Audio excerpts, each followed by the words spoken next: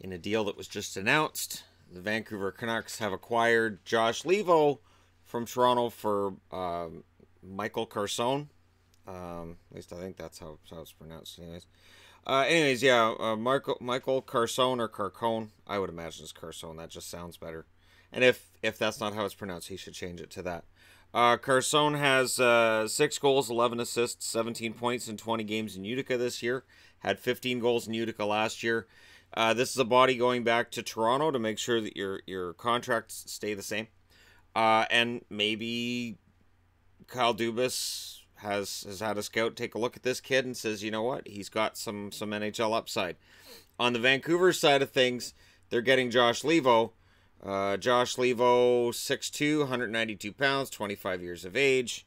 Um, has played a grand total of 84 games in a Toronto Maple Leafs jersey since uh, 2013. Played 7 games in 13-14, 9 games in 14-15, 12 games in 15-16, 13 games, 16 games, 27 games in the last three years and he's put up a total of 14 goals, 14 assists, 28 points in 84 games. I I guess this explains on some level why Leipsic was waived by Vancouver yesterday. Maybe this is uh, Benning making room on the roster. Uh, with the signing of, of William Nylander, uh, Toronto had to move somebody because you have a 23 man roster. You're going to have Nylander on it, clearly. So somebody had to go, and Leivo was the guy who was the odd man out. Uh, for Vancouver, I, I like what they're getting here.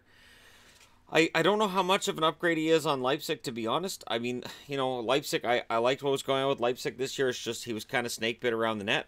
He he was, you know, he was playing relatively well, but around the net he was just completely snake bit. So for me, it qualifies for video because Leivo played every game for Toronto this year so far, and he is he is legit NHL player. Uh, this isn't just a swap of major minor leaguers. The funny thing is that there were articles last night saying there were multiple teams in play and that you know Toronto was shopping around Leivo. I, that's why I say with the prospect that the Canucks gave up, there must be something they see there that uh, made made uh, sense for Kyle Dubas to make the move. But I'd be interested to know what you guys think. If you're a Canucks fan, how do you feel about Josh Leivo coming in? I'm happy about it. I think it's it's it's an addition that uh, that will help it no, it doesn't make them a playoff team. No, I don't think Benning's trying to make them a playoff team. I think it's a matter of just making sure you have the right guys in the lineup and that prospects don't have to be rushed. You don't have to bring a kid into the lineup for what this season has been, which is good to start and kind of a dis- disaster over the last month. So I think Leivo will be a nice energy guy, probably in the top nine. I don't think he plays on the fourth line for Vancouver. I think he'll play probably on the third and have a chance to move up. So for Josh Leivo, it means he doesn't have to worry about getting sent down to the Marlies.